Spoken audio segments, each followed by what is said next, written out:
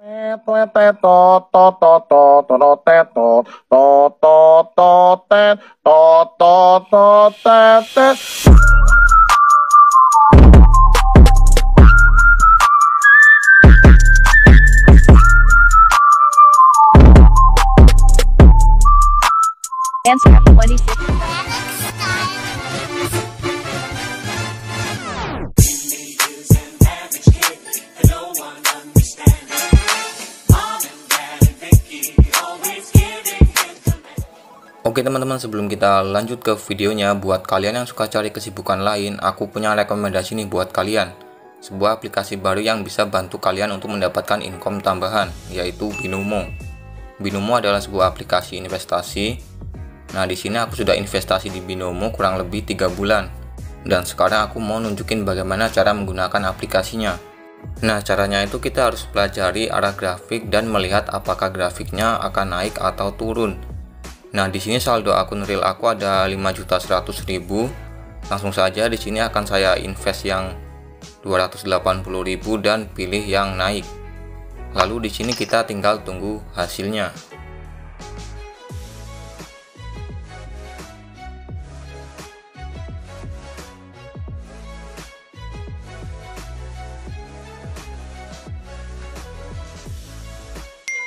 Yes, berhasil teman-teman. Investasi di Binomo bisa banget buat jadi kesibukanku dan untuk nambah-nambah income tambahan. Dengan modal mulai dari 10 dolar aja atau setara dengan 140 ribu, kamu bisa berpotensi mendapatkan income tambahan. Nah, sekarang aku mau kasih lihat ke kalian untuk sejarah penarikan uangnya.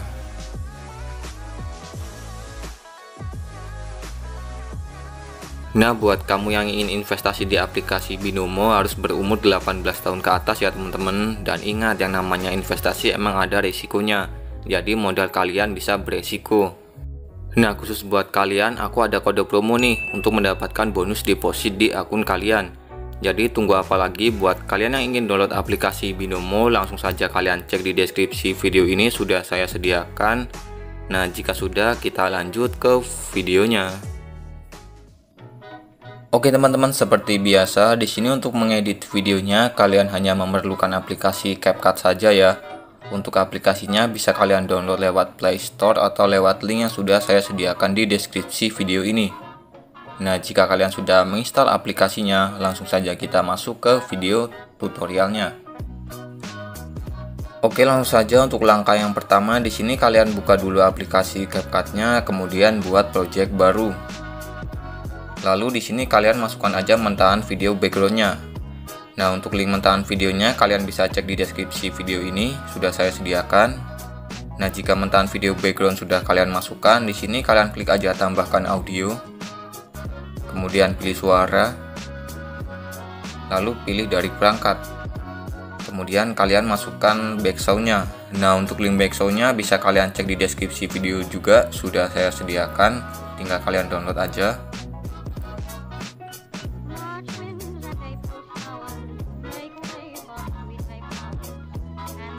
Oke, jika backsound sudah kalian masukkan, di sini langkah selanjutnya kalian buat aja tanda bit di bagian backsoundnya ya. Nah, untuk detik-detik bitnya bisa kalian cek di deskripsi video ini sudah saya sediakan. Nah, untuk cara memasang detik-detik bitnya, pertama kalian perlebar aja dulu videonya dengan cara seperti ini. Kalian perlebar sampai di detikan videonya itu muncul seperti 5F, 10F, 15F, 20F dan 25F seperti ini ya. Nah, jika sudah contohnya di sini di detik pertama itu detik bitnya ada di detik 8 lewat 20F. Nah, langsung saja di sini kalian geser ke bagian detik 8. Nah, di sini kan detik 8 ya. Langsung saja kalian geser ke bagian lebihnya yaitu 20F. Nah, di sini 20F, langsung saja kalian klik backsoundnya. Kemudian pilih gabung potongan. Lalu kalian pilih tambahkan irama. Nah, otomatis tanda bitnya sudah terbuat ya. Nah, seperti itu ya untuk cara membuat tanda bitnya atau memasang detik-detik bitnya. Selanjutnya di sini tinggal kalian pasang aja ya di bagian detik bit yang sudah saya sediakan di deskripsi video ini.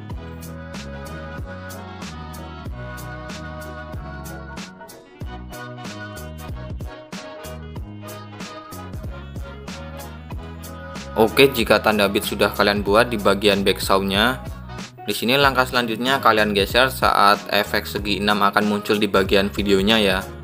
Kalian geser, kira-kira itu di bagian saat segi 6-nya di bagian bawah ya, yang segi 6 seperti ini. Kalian geser saat e, efek segi 6-nya akan muncul.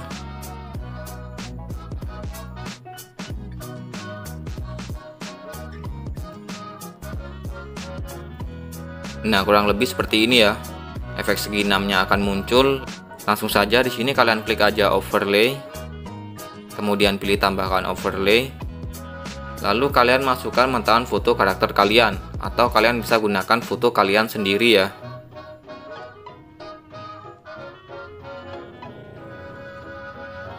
Nah, jika foto sudah kalian masukkan, di sini kalian perpanjang aja durasinya. Kalian perpanjang sampai ke akhir durasi video ya.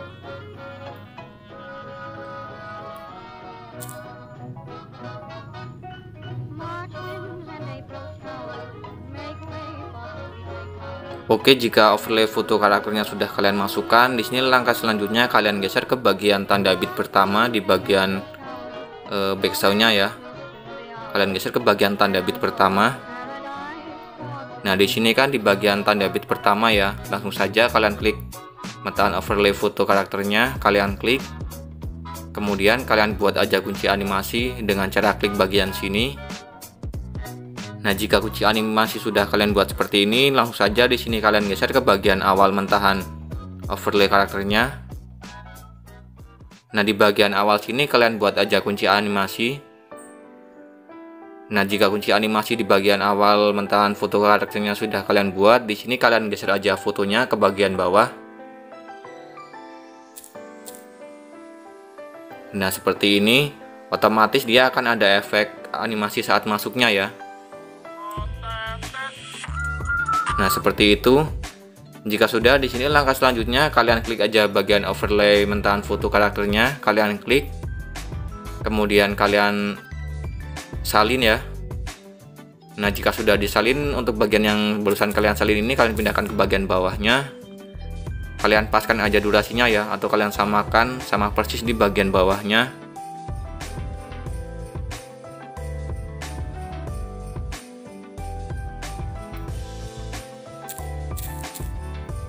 Nah, jika mentahan foto overlay yang barusan kalian salin sudah kalian pindahkan ke bagian bawah seperti ini. Di sini langkah selanjutnya kalian geser ke bagian awal mentahan fotonya. Nah, di sini di bagian awal mentahan fotonya kalian klik aja efek. Kemudian pilih efek yang ke bagian party atau pesta ya. Nah, untuk efeknya kalian pilih yang negatif kuning. Nah, jika sudah kalian centang, Lalu untuk efek negatif kuningnya kalian klik, kemudian kalian pilih objeknya, kalian pindahkan ke bagian mentahan foto overlay yang pertama ya, yang bagian sini. Kalian klik. Nah, jika sudah kalian centang. Lalu untuk efek negatif kuningnya kalian panjangkan sampai ke akhir durasi video. Nah, jika sudah di sini kalian klik kembali. Lalu kalian klik overlay lagi kemudian kalian klik aja bagian mentahan foto overlay karakter yang bagian atas ya yang sebelah sini kalian klik. Kemudian kalian perbesar sedikit aja ukurannya ya. Kalian paskan dulu ke bagian kunci animasi yang di sini di bagian tanda bit pertama. Nah jika sudah pas di bagian kunci animasinya langsung saja kalian perbesar sedikit saja dengan cara seperti ini. Kalian perbesar sedikit saja. Nah jika sudah otomatis untuk hasil sementara videonya akan seperti ini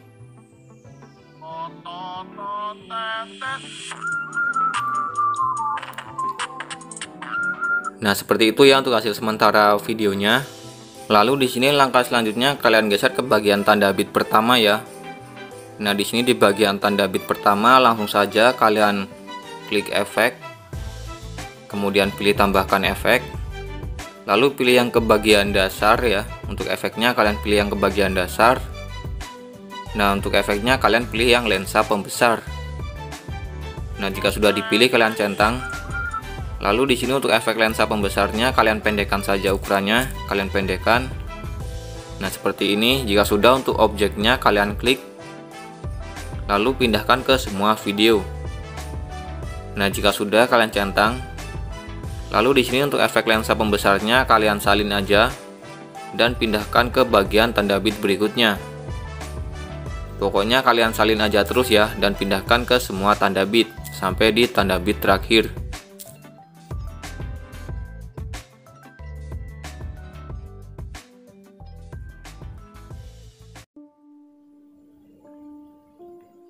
Oke, jika efek lensa pembesar sudah kalian tambahkan ke semua tanda bit, di sini langkah selanjutnya kita akan menambahkan efek getaran glitch ya di bagian videonya.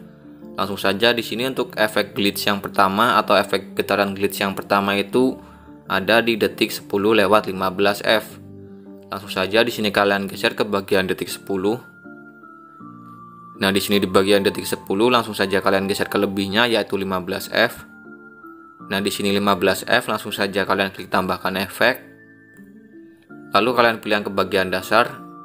Nah, untuk efek yang pertama di sini kalian masukkan efek yang guncang. Nah, jika sudah kalian centang, lalu di sini untuk efek guncangnya kalian pendekkan aja. Kalian pendekkan.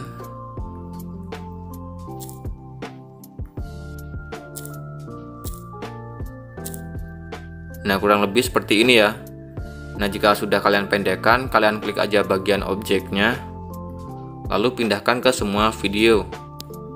Nah, jika sudah kalian centang, lalu kalian geser ke bagian awal efek guncangnya.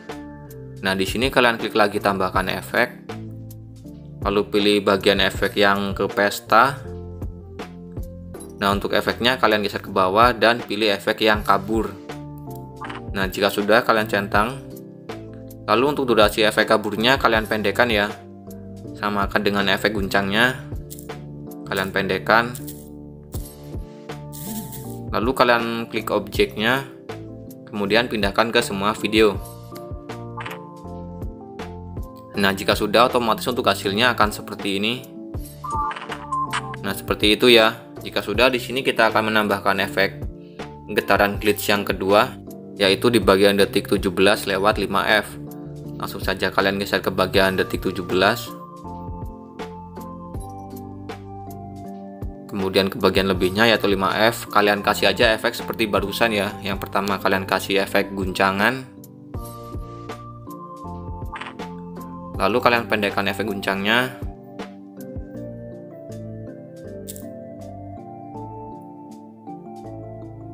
Nah, jika sudah kalian ubah objeknya ke semua video, Nah, jika sudah kalian kasih lagi di bagian awalnya, kalian kasih efek yang pesta. Kemudian pilih yang kabur. Lalu kalian pendekkan sama seperti efek guncangan. Nah, jika sudah kalian kasih objeknya ke semua video. Oke, jika semuanya sudah, di sini langkah selanjutnya kita akan menambahkan efek flash warna putih ya di bagian videonya. Langsung saja kalian geser ke bagian tanda bit pertama. Nah, di sini di bagian tanda bit pertama, kalian klik aja overlay. Lalu pilih tambahkan overlay. Kemudian pilih stock video. Lalu kalian masukkan background warna putih. Dan kalian atur ukurannya sampai menutupi layar video. Nah, jika sudah, kalian klik gabungkan. Kemudian pilih yang overlay jika sudah kalian pendekkan durasi background warna putihnya, kalian pendekkan menjadi 0,3 detik.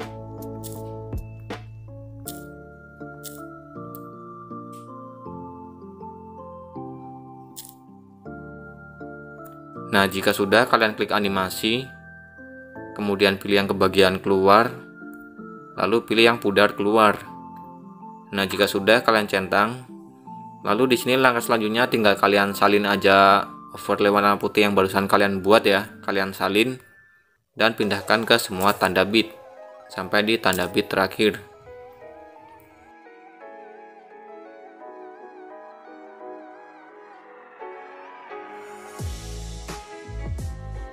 Oke, jika efek overlay putih sudah kalian kasih ke semua tanda bit seperti ini, di sini langkah selanjutnya kita akan menambahkan efek yang terakhir ya, Langsung saja kalian geser ke bagian tanda bit pertama. Nah, di sini di bagian tanda bit pertama kalian klik aja efek. Kemudian pilih tambahkan efek. Lalu kalian pilih yang ke bagian alam. Lalu untuk efeknya kalian pilih yang hujan salju. Nah, jika sudah kalian centang. Lalu untuk efek hujan saljunya kalian panjangkan aja durasinya ya, sampai ke akhir durasi video. Oke, jika semuanya sudah otomatis kurang lebih untuk hasil videonya akan seperti ini.